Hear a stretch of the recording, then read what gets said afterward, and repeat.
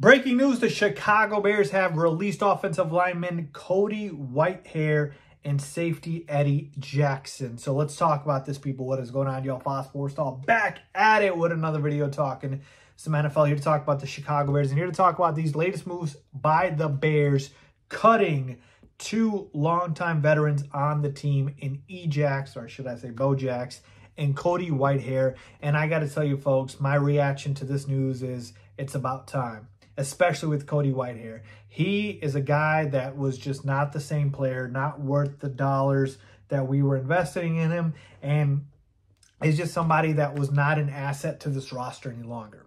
Most notably, the fact that he could not play center. His snapping issues have been very notable throughout the years. Like Cody Whitehair was just not the same guy. That, that's essentially what this is all about. And, you know, I love Cody, and he gave the Bears great years, uh, uh, you know, in his career over the, the long haul.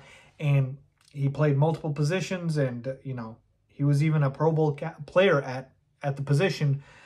But at this point, you know, it had just run its course and we need to get some fresh blood in here at the position uh, for Cody Whitehair. So I wish him the best of luck, man. But uh, this was the right move by the Bears in terms of releasing and cutting Cody Whitehair. All right, let's talk about Eddie Jackson. Eddie Jackson, much better player at this point in his career than a Cody Whitehair, but the dollar amount is just way too much. So uh, the Bears save approximately 22-ish million dollars cutting Eddie Jackson, and they saved about $9 million cutting Cody Whitehair. So with Eddie J Jackson, unless he took a big pay cut, I didn't see him coming back to this team either just because of the fact that, again, he does not warrant the amount of money we're allocating towards him.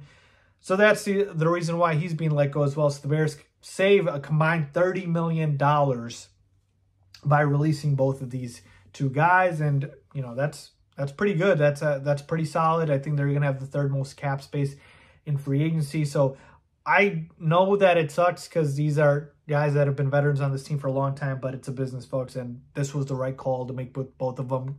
Whitehair more of a production issue, and Eddie Jackson more of a, you know, you're not worth a dollar uh, at this time issue. So, wish them the best of luck, and hopefully they find new homes. But we got to replace these guys and find, you know, better do dollar value for the players that we invest in those positions.